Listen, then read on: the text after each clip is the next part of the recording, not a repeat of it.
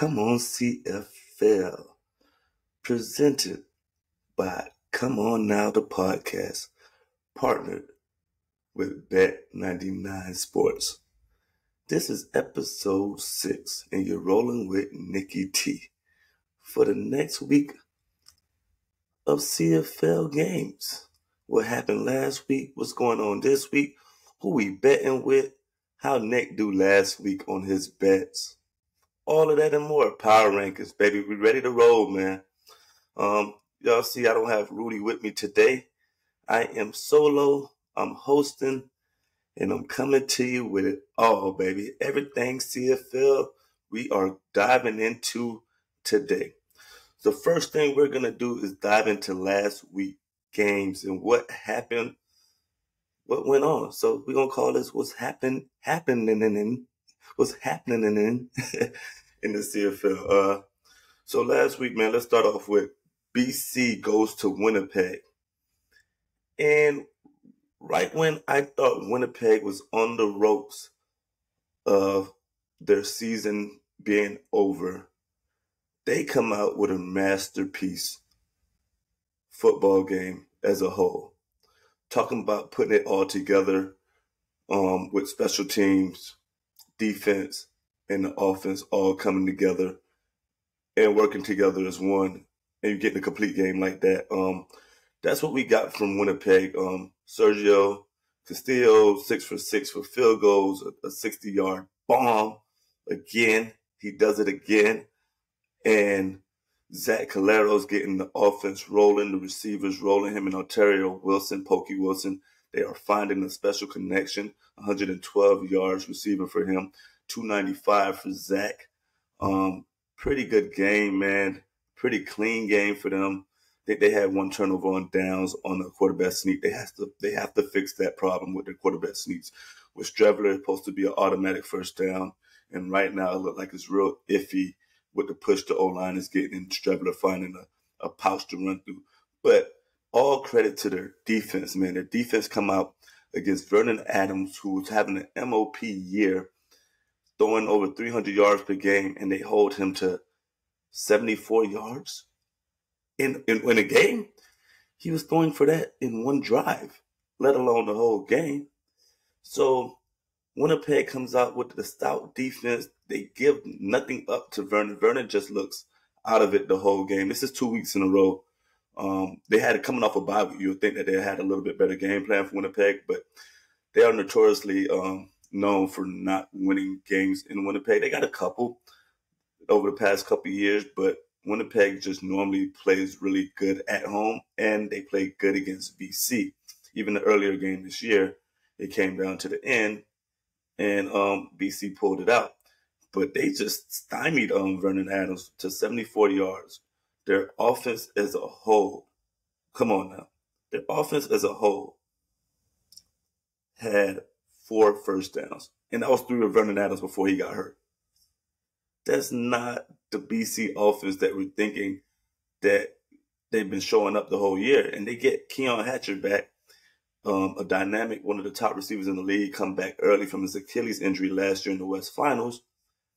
And the man, and it looked like they threw off their offense a little bit to get back in their rhythm. Justin McInnis had zero catches, but Winnipeg on second down just went three man rush. Three man rush every time on second down. They spied with Biggie on Vernon Adams a little bit, but they collapsed the pocket with three people.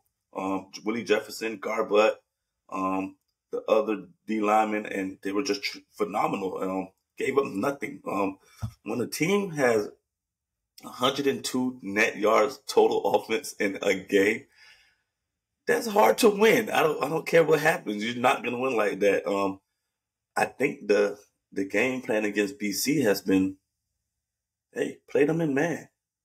Let's guard the receivers in man. Let's spy Vernon Adams, and let's see what they can do. Let's let's let's go out there. Winnipeg had eight DBs on the field for every second down. Eight DBs. So they took the linebackers out and they put an extra DB in that gave them, you know, they know BC wants to throw the ball, they want to push the ball, and they took away the little short throws. They like to throw the little short throws to get in like nice, man- manageable situations or even on second and five, the little short throws and let the receivers fall forward. And Winnipeg just took that away the whole game. And um, Tre Ford gets, I mean, Tyrell Ford, the brother of Tre Ford, we'll talk about him later, gets an interception, changed the game, flipped the game around early. Um, defense gets four interceptions, two turnovers. Um, just the highlights performance by the defense this that week, man. Um, kudos to Winnipeg getting back on the road. They needed that game because that was definitely a season defining win. They needed it. They came in that game at two and six. They go to two and seven. It doesn't look so good for them, especially with Calgary getting the win. Um, so that's what happened that game, man. What a game by their defense. Um, Brady Oliveira, um, over hundred yards on the dot. Um, good game for them. Um, the next game we happen that week, we happen we have um, Montreal versus Hamilton. Um, Montreal's a freaking good team, man, all around. Backup quarterback and all. He started off a little slow, um, my guy Davis Alexander, but he got it rolling later on as the game progressed. He got a little bit more comfortable as being the starting quarterback. Um, he he came out with a decent performance, 19 for 27, 262, one touchdown. Um, but that defense, man, they gave Bo Levi hell all night long. Two interceptions. Um, just never was comfortable, man. Um, 29 for 42, two interceptions, 240. Um, they end up pulling him and pulling it, putting Taylor on the backup quarterback in later on in the game. But 33 to 16, Montreal, they just are a amazing team, a complete team, and they look like they are going back to the championship. I will have them as a bet and favorite to come out the East. And and we know once it gets to the playoffs, it's just literally who's hotter at that moment, who has a better day. But more than likely, I think I was setting up that Montreal will have the better days than any team going forward in the playoffs at this at this point. Ottawa look good, but how will they look against the big bad beast in Montreal is Tyrice Beverette is having a defense defensive player of the year type of type of year. He's just everywhere on the field. Number 26 for Montreal is everywhere on the field. Wherever the ball is, that's what that guy is, man. On weak side linebacker, he's a, he's he's something special, man. He had a sack, two tackles for a loss, um, and they just absolutely annihilate Hamilton after Hamilton was trying to get back in the East contention um, in the race after they had two wins in a row. Um, didn't get one this game. Montreal, um, Noel Thorpe and Jason Maas have this team firing on all cylinders. They're fun to watch. And I, I want to see can they pull off the the, the back-to-back championship. That's a feat that not many teams are able to pull off. But when you have a momentum and the fire is hot, you have to strike. And they are a team that's showing you can win with your backup quarterback. That's good. Not many teams can do that. And you have to have a good backup quarterback in this league because more than likely, just playing the game of football, injuries happen so often, and quarterbacks in position they get hit a lot. Um, they're not as strong, you know, as the other players that's tackling them, like the D linemen who's 300 pounds and D ends who's 260. So they tend to get hurt. There's a lot of hits. It's 18 games in a season. So if you don't have a backup quarterback in this league, more than likely you're not going to get to where you got to go because they probably have to come in for two, three, four games in the season and hold the fort. And that's what um, my guy Davis Alexander is doing to Cody get back. And Cody should be back soon. He practiced last week, limited. So I will expect him to be back soon. In the next game of the week, we had Edmonton go to Mont, go to Saskatchewan and get the win, 42 to 31. So you're telling me they make a change at quarterback and they get the first win of the season? Coincidence? Hmm. I think not. The offense looked great in the, the mop up duty Tre Ford came in last week against Hamilton. And it looked like their, their their team just gets energized when this young kid is in the game because they know how dynamic he is. And last year, the kid won five games for them. They didn't win no games before that. This year, they come back this season, they bench him, they bring in McLeod Bethel, and they don't win games again. I'm, I'm, I'm starting to see difference maker for that team. and it's Tre Ford, the one Tre Ford. He's turning things around over there in Edmonton. He comes in, he gets them to score 42 points after Sask come out with the opening kick return by Alford, and they changed the game. He throws for over 250, um, 18 for 22, so he's pretty efficient. He had one interception. Okay, we'll live with that. But what he does for that team, he opens up the run game. And when Sask, who normally plays pretty good defense for the season, gives up 276 yards rushing, you won't win much games like that. And Tre Ford brings that dynamic because you have to focus so much on him. Your ends have to watch him. Your linebacker has to watch him. And that's leaving gaping holes for the running back to take over it. So you get my guy, Javon Leaks, go for 12, t- 12 carries for 169. So every carry he had was basically a big run and three touchdowns. And then he still had three catches for 22, 26 yards. So the man just had an amazing game, but that is all opened up by Tre Ford. Just what happened last year with Kevin Brown. Tre Ford opened up the, the season for him. At the beginning of the year, he was averaging 40 yards a game. And then Tre Ford comes in and the holes are so much different because the defenses and the defensive coordinators are pulling out their hair. The little hair that these defensive coordinators do have is only a couple of them, but here left. I think Monson and, and maybe uh, Edmonton defensive coordinator, but he don't have to stress. He this he's you know, and, and my guy over there in uh in Ottawa, uh defensive coordinator. They, he has his hair, but most of the league they're they're pulling out their hair their hair when they have to play Tre Ford because he puts you in so much of a bind on how to cover to guard him because your ends you can't crash him down because if they crash down and don't contain, he's gonna do the RPO and he's gonna shoot out of there and nobody can catch him. The guy runs a four three.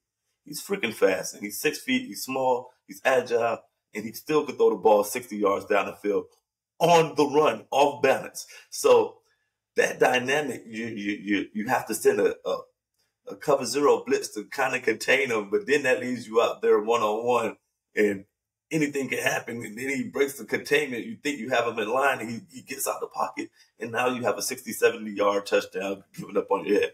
And you just, all your focus is on this guy because he's so elite and what he could bring. And it was just dynamic for him to see because in that game, Stats, Shea Patterson played a good game. He had over 300 yards. I mean, little spotty, 22 for 38 throwing the ball, but over 300 yards. That's a good game. They scored 31 points, but you give up 42. And Sask takes the lead. They take the lead 22 to 20 by dynamic catch by Jew. And Edmonton's not phased. Even as they're a 0 and 7, 0 and 18, they know with Tre Ford, they always have a chance to control the game, the, the, the time possession of the clock. The defense don't have to do so much. They don't have to be on the field so much because the offense is on the field. And they're limiting limiting the, the, the, the, amount of time the defense has to be out there to make mistakes and be as bad as they've been the whole year. And now the defense like, shoot, we only got to get a couple stops a game because we're only going to be out there for about five, six possessions. And and we have a good chance of winning. So that would happen that game. That's and you could and you're gonna tell me as a coach you got fired because you didn't want to start the quarterback who got you wins last year because he's a Canadian quarterback and you think somebody else is going to come in and be better. The team did not respond well to McLeod Bethel this year. And it could be because of his complaining about short rest days for games when they play on five days rest. Um, you can complain about that after the season. You, you're not changing that during that season.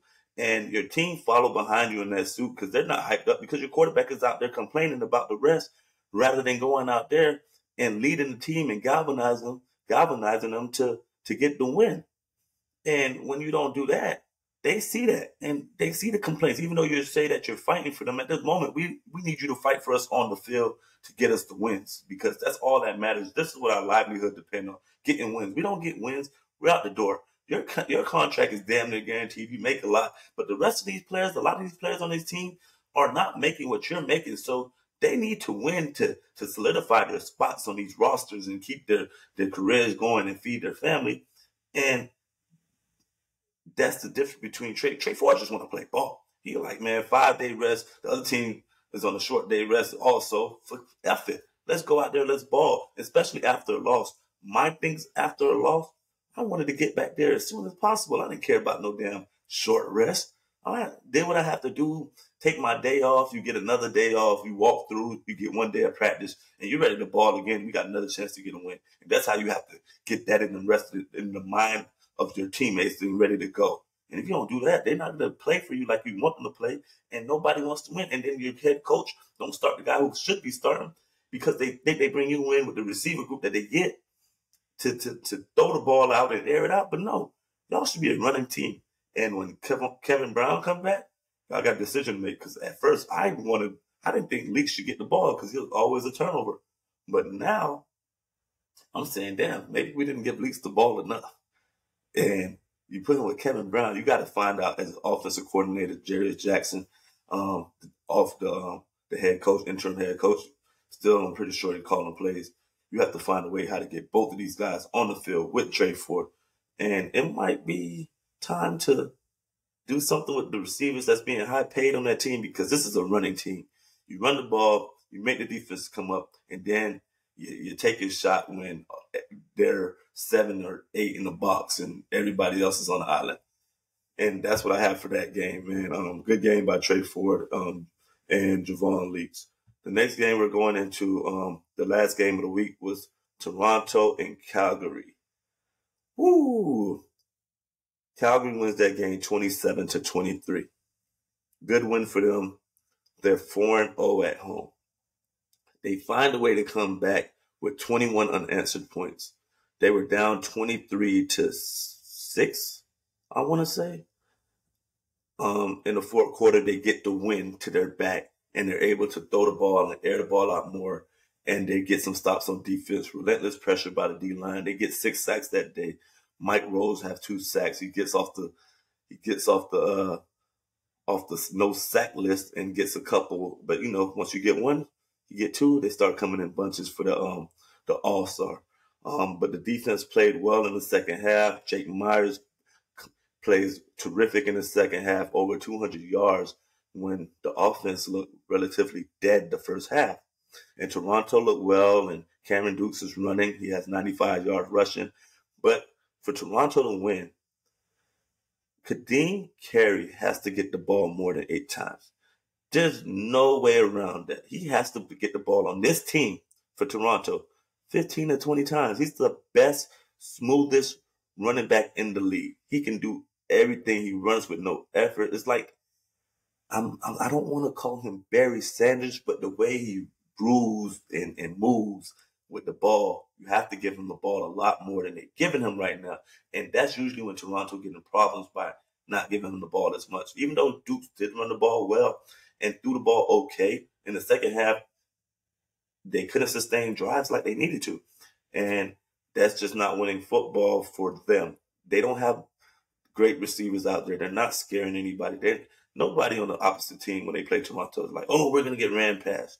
And when your quarterback is not ready for the spotlight like that, like Cameron Dukes is not ready for it to be able, like as a thrower, then with average receivers, below average receivers, that that's a big problem. You need your quarterback to be elite to make your average receivers look better than they are, or you need your receivers to be elite to make your quarterback better than, than he is. And that's the problem that they're having in Toronto right now until Chad Kelly comes back. We don't know. Will he come back after week nine? We still haven't heard anything from the commissioner, any updates. Um, I heard he was trying to practice. I don't know if that ever went through. So that's what we got going on in that game right there. Um, Demerio Houston gets his third pick of the season and steals the game with a big hit from Micah Awe when Toronto was down four. They needed a touchdown at the end of the game. After the big comeback, big catch by Echols down the sideline. Jake Myers throws one up over McFadden. Echols come down with it. Um, and they get the ball to Reggie Begelton a lot this game because he's an important player for that team. You get him the ball, you, you see what he can do. He's a tough, hard nosed son of a gun. And Calgary problem right now is how do they continue the momentum? How do they keep it going? They go on the road. They play Toronto again. What will they do? We'll find out soon. That's going to come up in uh, next picks. Um, but right now, after we just talked about last week, let's dive into the power rankings. Who's number one? Who's number nine this week? Does it stay the same? Do we get a little bit of changes? We'll find out right now because we're gonna go right into Nick's power rankings. Um, let's see. How should we do this this week? I want to go nine to one or one to nine. Let's go nine to one. Let's let's start off like that. Um, at number nine, it remains the same. Maybe for the last week, but we are gonna go with Edmonton. We're gonna keep them there. They got to prove it to us one more week with Tre Ford. I think they will, but if they win this week, things get a little bit you know, interesting over there in Edmonton and in the West playoffs. Edmonton gives themselves another chance of making the playoffs like they did last year when Tre Ford got in. So we'll keep them at nine. Hamilton at eight, two and six. They were going for three wins in a row. They didn't get it done. They got stymied by Montreal. Toronto at seven, four and four. I just don't like the, their their offense dynamic right now. Their D line is terrific. Their offense with their quarterback and the receivers, they're not giving Kadeem the ball enough they're not giving Kadeem enough carries, and that's a problem. give Kadeem carry more carries. Just give him, give him the ball, please. And maybe y'all start going back up in the power rankings. At number six, Winnipeg. Um, any team that just beat the crap out of a top team like that has to go up. Um, I, I think as they get, you know, Kenny Lawler back, maybe after this bye week, look out for Winnipeg. They look like Zach Collaros is starting to find the rhythm, and Pokey Wilson is becoming another receiver that they didn't expect to be that guy. But now you add him with Demski, Lawler, um, and Brady, and maybe the O line starts playing a little bit better, like they played last game, and they get back on the roll as the season starts getting to end. At number five, we got Calgary four and four. Um, good win for them. They're going on the road this week. Do they get a win? This is this is what define their season. This will make or break their season because you can't just keep winning at home. You have to find a way to win at the road. That's what the good teams do. Are y'all good or are y'all not? At number five, four, BC, two shaky weeks in a row. Teams are starting to play y'all in man. What are y'all to do about it? Are y'all not good enough to get open? That's what it's looking like right now. Can y'all not protect y'all quarterback? That's what it's looking like right now. He's hurt. Um, Jake Dolly Gala, um, he gets to start this week. Can he keep the team above float? Can he keep them above the water? Can he do it? We need you. Y'all need him to. Like I said, every team needs their backup quarterback to be okay enough to keep the team above water or treading water lightly or over the water, whatever you want to say however you want to say it. Um, to keep the season going until your starting quarterback get hurt because it's just inevitable in this league. Tough game for your quarterback to last most of the season, unless you're just Jake Myers. He's he's just uh, somebody who's always playing. but other than that, we got Sask at three, five, and three. Um, back to back losses. Um, they got to get back in the win column. They got to find a way to do it with the backup quarterback until Trevor Harris gets back. Shea Patterson's playing well though. Frankie Hickson is playing well as a backup running back. But too many backups get you L's. At the end of the day, that's just what it is. Um, you need to get your starters back. Got to get them back healthy. Got to get them back rolling. Ottawa five and two bye week. Um, last time we saw them, they put a foot in Calgary's ass, and that's gonna keep them. That's the last memory I have of them. So I have to put them up this week. They got a big game this week. Let's see if we could keep them up there at number two. This is probably the highest they've been in a long time in anybody's power ranking. Good for Coach Dyce. Good for Ottawa. Number one, defending champs, Montreal. Who's better? Nobody's better. That defense, Tyrice Beverette, um, the DB Ento, um, the D line, Mustafa, uh, uh, the middle linebacker Sankey. They're just great right now. Um, Jason Maas is the coach, just out coaching a lot of coaches, even with the onside kick that everybody hates. He's just one step ahead, ahead of everybody else. And, and Thorpe, defensive coordinator, also one step ahead of everybody else right now. And that's why they're number one in the power rankings, baby. And that's the power rankings for this week. Like I said, we got Edmonton at nine, Hamilton at eight, Toronto at seven, Winnipeg at six, Calgary at five, BC at four, Sask at three, Ottawa at two, and Montreal at one. This is Come On CFL, and we still talking. We're about to go into Nick picks. Last week, two and two. I'm getting better we rolling. Um, a couple things could have went my way. We'd have been, you know, I could, I should have bet with my heart. I I, I knew at Winnipeg is a tough game for BC, but I didn't think it was going to go down like that. But this week, we're on to the next week. We can't keep worrying about the next week. We like a DB. We have a short. I am a DB. That's why I have a short term memory. Last week was last week. This week is this week, and this is Nick's picks this week, and this is what we're rolling with. All right. Thursday we have Sask at Ottawa. I'm going money line Ottawa minus 152. Ottawa gets the win. Um, at home. That's why I like it. Um, and then even though Sask need to win a little desperate, I'm going Ottawa money line. I'm not changing my mind. That's what I'm rolling with. All right. The next game, you got Calgary at Toronto. I'm going to go. Everything is telling me not to pick Calgary. They're 0 4 on the road. What the hell are they doing on the road that they're, that they're, that they're, what are they do, doing at home that they're not doing at the road? Getting wins, obviously, but are, are y'all not focused because y'all traveling, y'all in different cities? Like, what are y'all doing? Is the head coach not getting y'all hype, the, the, the, the leading players on the team not getting everybody hype. We have to find a way to get away a win on the road. And I'm going to roll with y'all on the road this week to get another win against Toronto. Um, if Toronto's not having the ball off the Kadeem, we're going to go um, Calgary for the win, money line, uh, plus 105. Should get a good return on that one. These are Nick picks now, just letting y'all know. Um, bet responsibly. Bet 99. Uh, the code below, bet99. Use it up to $1,500 in bet backs. Uh, Hamilton at Montreal, minus 7.5. We're going with uh, Montreal for the win, minus 7.5. We're going to take that. Um, and then we're going to go BC and Edmonton. Whoo, tough game. Um, BC starting quarterback is out. Vernon Adams out. Jake Dolegala is starting this week at quarterback. Edmonton minus one. I'm taking Edmonton and I'm taking the over at 48.5. I think there will be some points scored. So that would be my other pick I'm giving y'all this week is the over on that one. That's a, a plus bet. I'm, I'm just giving y'all a little something, something extra to add to it. So that's Nick's picks for this week's. Um, and we literally went over everything this week, man. We, we talked about things that's going on big games this week. Who's going to get the win? Um, the referees have to be better again. Um, there's some calls that's just not.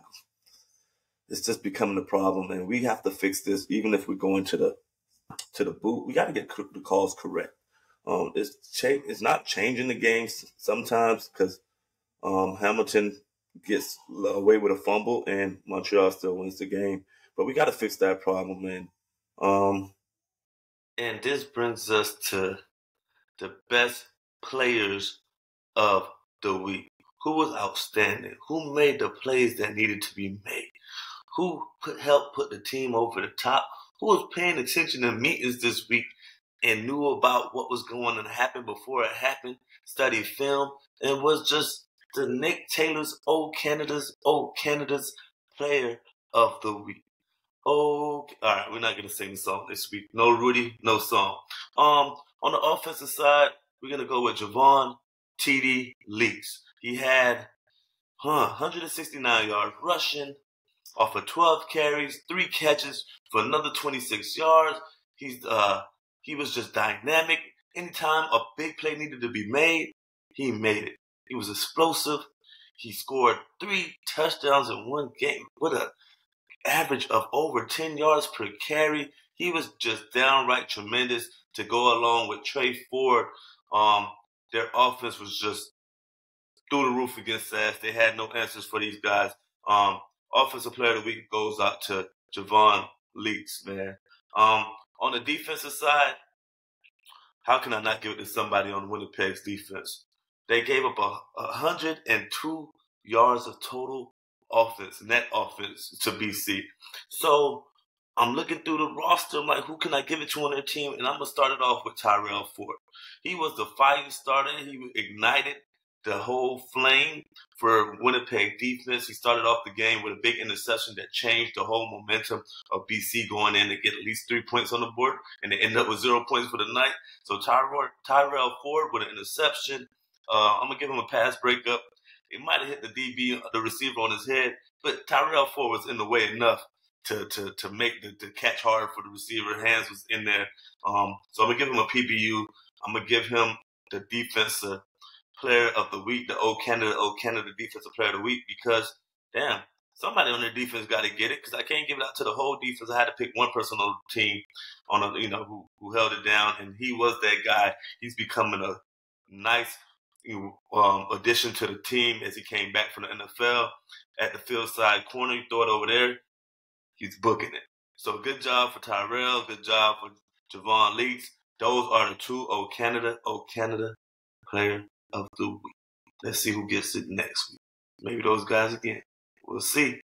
That's what we got for this week of Come On CFL, baby. Presented by Come On Now, the podcast, partnered with Bet99. Follow, subscribe, hit that button below. Man, everything CFL brought to you by Three Cup, three time Grey Cup champion Nick Taylor. Um, another fun episode. I'm gonna keep bringing y'all that heat. Y'all keep rocking with me every week, and we gonna do what we do. Tune in next week for the next episode. Like I say, hit that follow button, baby. Um, we're on, you know, we're on everything. We're on Twitter. We're on YouTube. We're on uh, uh, whatever you you see down below. You click it. You follow us and keep keep paying attention, man. We're gonna keep bringing y'all that heat. Um, like I say, have a good have a good week. Another great week of the CFL football. Tune in. I sure will. This is come on now. Have a good day. We'll be out, baby.